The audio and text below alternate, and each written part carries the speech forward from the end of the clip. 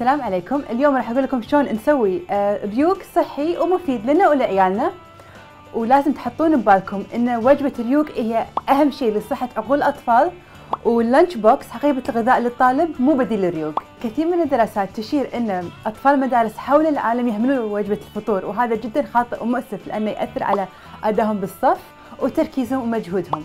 فخلينا نكون قدوة لعيالنا وخلي يشوفون تريق الصف عشان يتعودون على العادة الصحية. آه خليني أعطيكم مثال for a healthy breakfast. مثلا إناء من الشوفان مع حليب قليل الدسم أو حليب اللوز أو حليب الجوز مع فاكهة مقطعة أو تمر وكمشه لوز. الشوفان غني بال B vitamins اللي راح تهدي الأعصاب آه، والتوتر الصبح. والحليب قليل الدسم أو حليب اللوز أو حليب جوز الهند راح يزودكم بروتين والفاكهة آه، تعطيكم طاقة للتركيز في الدوام أو المدرسة والتمر مفيد للحاجات الدماغية. وإذا ما عندكم وقت لتحضير الريوق هذا ممكن تاخذون موزة وغلاس حليب لكن حثوا على الريوق. وشوفوا شلون يومكم راح يتغير لكم ولعيالكم.